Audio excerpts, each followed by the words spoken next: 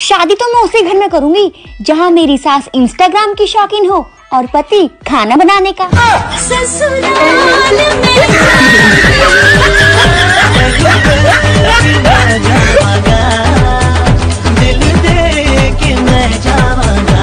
मैं अपने दोस्त का मज़ाक इसलिए उड़ाता हूँ, क्योंकि मेरे पास उड़ाने के लिए हेलीकॉप्टर नहीं है।